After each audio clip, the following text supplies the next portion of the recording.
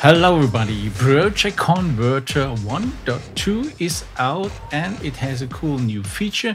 You can now also transfer the clips in the scenes of a DAW project, so the clip launcher section in Bitwig, and create an arrangement from that automatically. What does it mean? So let's have a look at a simple Bitwig test project. So in there I have several scenes with clips in them. Let's give a listen. And as you see, there is nothing in the arrangement. The arrangement is empty. If you also take a look at the clips, they have different lengths in here. This clip has two bars. That one has eight. That one has seven, even more complicated. And they all play and loop together.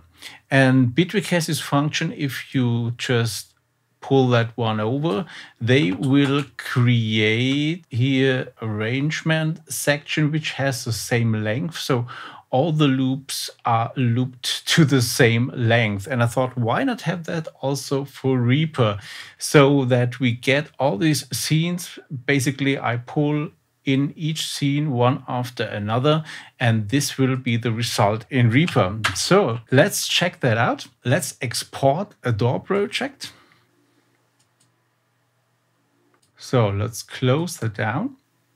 So here it is. And now let's open it in Project Converter. So here it is.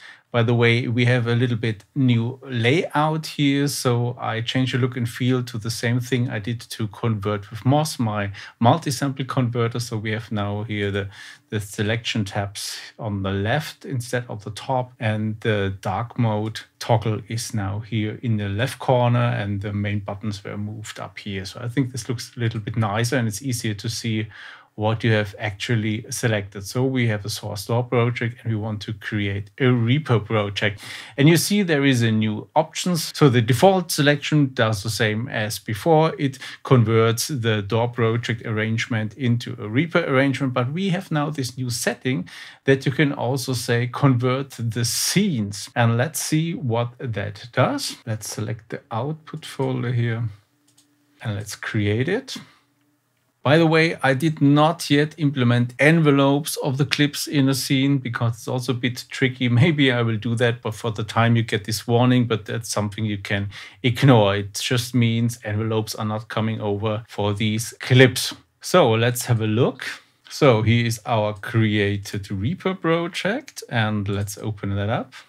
And you see it converted all the different scenes and even we get here range markers for the names of the scenes and they all have the correct length. So the length of the longest clip among the clips in this scene and this get rolled out. So everything here comes across nicely big helper if you don't want to create the arrangement first in Bitwig, for example, and if you prefer to create the arrangement in a DAW like Reaper. But there's more you can do with it. As you might have noticed, I did not prevent before that you can create a DAW project into a DAW project or a Reaper to Reaper, which makes basically only sense for testing. But now DAW project to DAW project makes sense because also here we have now the option to replace the arrangement in this DAW project file with the clip launcher clip. So it does basically the same what I did now in the Reaper project, but to the DAW project. So let's see what that does. I have here the same Filterscape DAW project and also let's create it here in the output file and let's do its thing.